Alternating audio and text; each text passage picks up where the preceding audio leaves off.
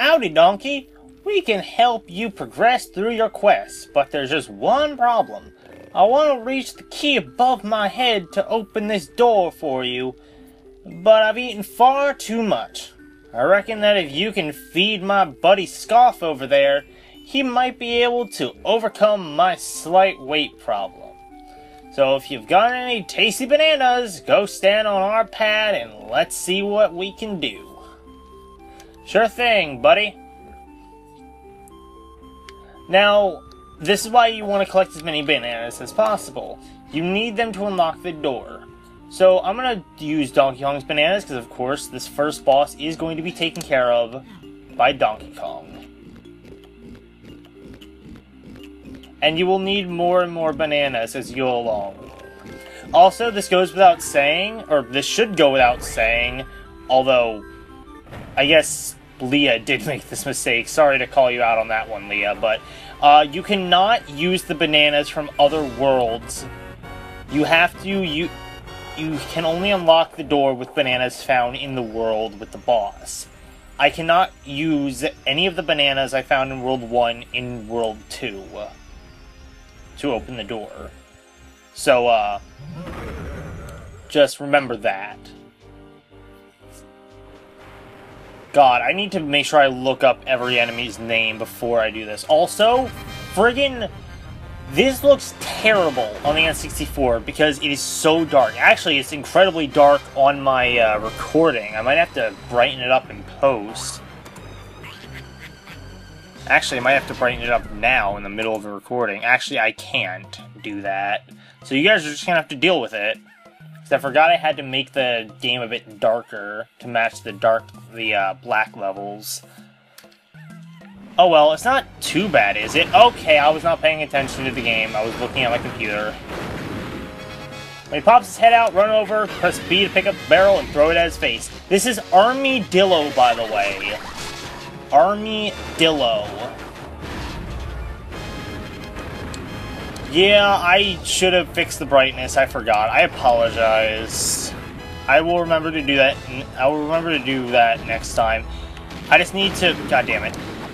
The light levels look fine in Banjo-Kazooie, but I need to... Like, I need to make the, the uh, brightness lower for Banjo-Kazooie. And I need to make them... Or I need to make them darker for Banjo-Kazooie because a lot of the black on the screen is just flat out gray.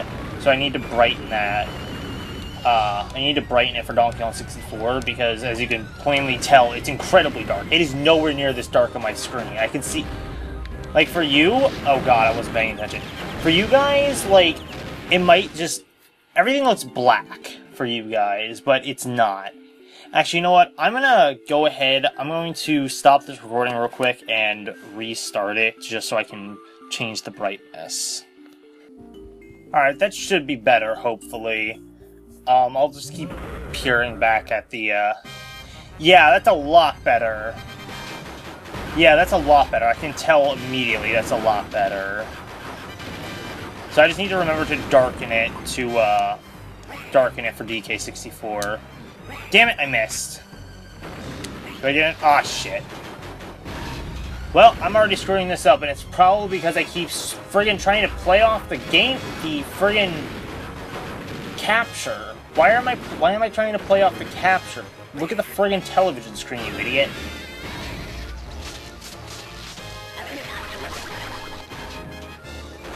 Anyway, this is pretty much what every boss is going to be. It's the same, it's just repeat the same process three or four times, and don't die along the way.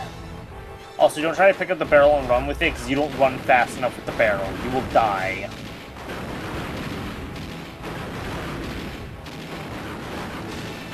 There we go. Oh, what the frick? Pick it up! Ah, shit.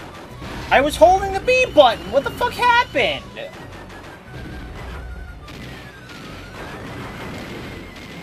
I'm so confused. Ow, I'm gonna die. I'm gonna get another death.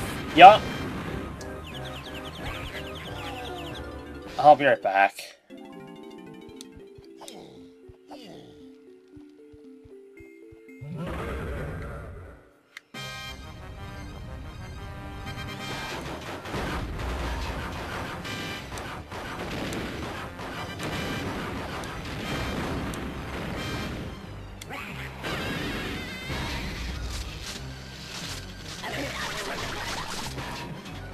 Okay, I just now realized I don't think you're supposed to hold the button. I think pressing the B button picks it up.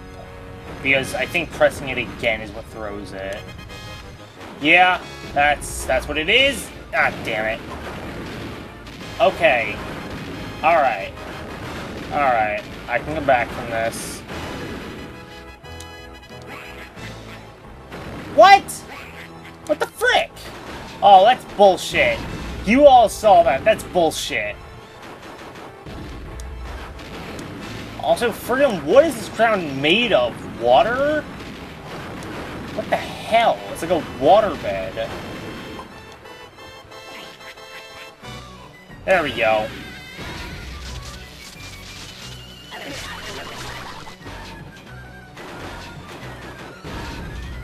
But yeah, um, it's probably a good thing that I brought that up, the, uh, that I left the darkness levels as they were, because that gives you a perfect example as to, uh, what the N64 looks like when you fight this guy, because the brightness levels on the N64 games were not the best.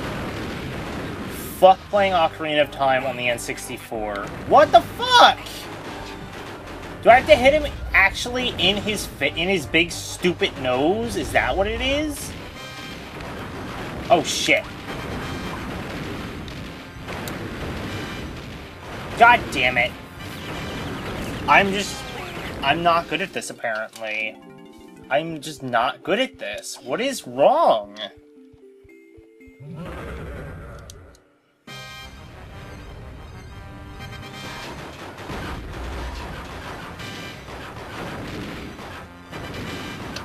Like, I'm gonna be honest, this has never happened before. This has never happened before. What the fuck? This has not happened! This does not happen normally! I'm not crazy! This doesn't happen!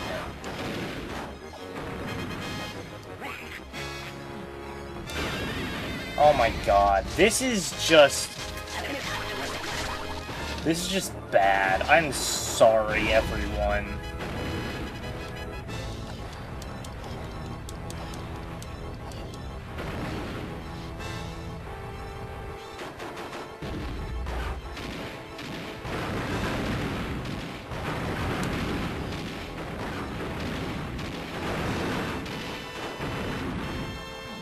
There we go.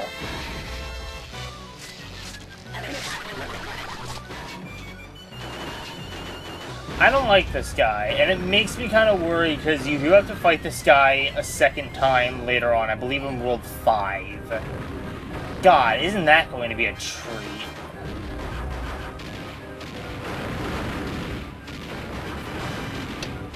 This is a perfect representation of, of when I played The Legend of Zelda Skyward Sword on Hero Mode. I can do the dungeons just fine, they're no problem. The bosses fuck me up beyond all belief. And the bosses are usually the easiest part of a Zelda game, in my opinion. Bye. Alright, with that done, we get the first key to unlock K. Lumsy. I couldn't remember his name. K. Lumsy's thing. Also, yes, K. Lumsy, B. Locker, K. Rool, they're all fucking stupid jokes. Also, the boss door disappears. Yeah, K. Rool is cruel, uh, K. Lumsy is clumsy, B. Locker is blocker. It's just dumb. Anyway, we can now head back over to see Mr... God fucking damn it! I hate when games do that. I hate when games put the friggin' exit in front of you like that when you come out.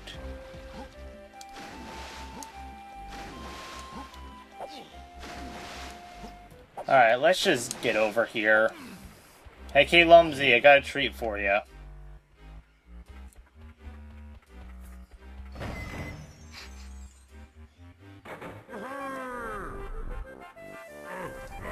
before his little happy dance, we'll open up the next world.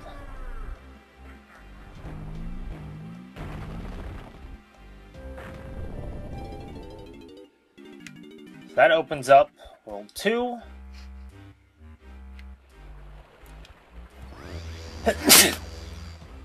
and I sneezed. Good fucking job.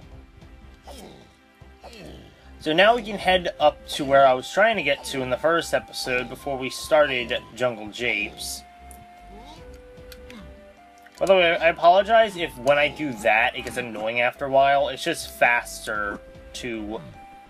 It's just faster to uh, do that than just walk. I could do this also, but then I have the possibility of rolling off a cliff.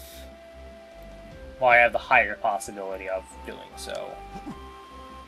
Don't try to jump for these, just get as close as you can while still on ground and just jump forward. That's the best way to do it without falling. Man, I wish I could get up there without ha without having to jump uh, without having to jump up each individual stair, but it's whatever. This is the entrance to World 2.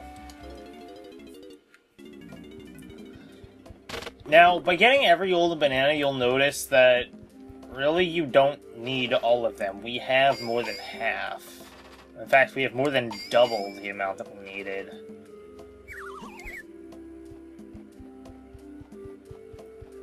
Let's just restock our ammo. When you when you pick up one of the ammo boxes, it collects it for every Kong. Uh, I believe the ammo is shared between every one of them.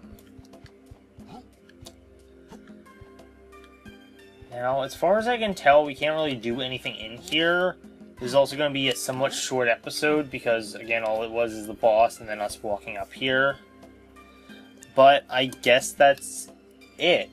In the next episode, we will enter the second world Angry Aztecs. That'll be fun. I like that world. We get my favorite Kong in the game in this world. So until next time, everybody.